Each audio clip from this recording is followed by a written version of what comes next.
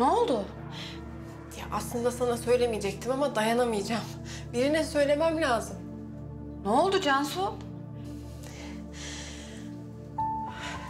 Ben yalancının oyununu bozdum. Emir Sarrafoğlu artık her şeyi biliyor. Feriha'nın yalancı bir kapıcı kızı olduğunu biliyor.